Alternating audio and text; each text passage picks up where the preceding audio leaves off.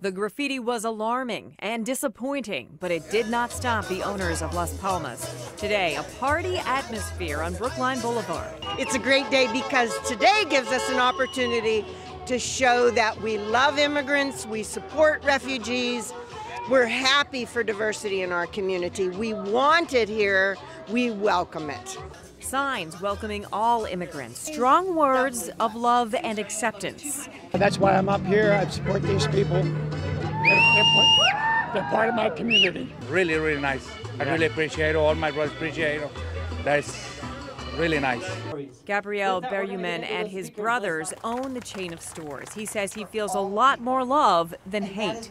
Maybe it's true persons and all these uh, community they don't like us, but as you can see, it's like a thousand they like us. Las Palmas, now famous street tacos, the highlight of the rally. Berumen actually thanking the haters who tagged his store because business is booming.